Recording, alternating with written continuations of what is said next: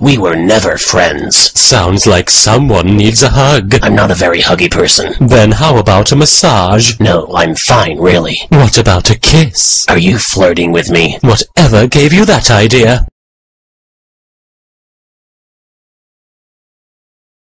I am a banana! I am.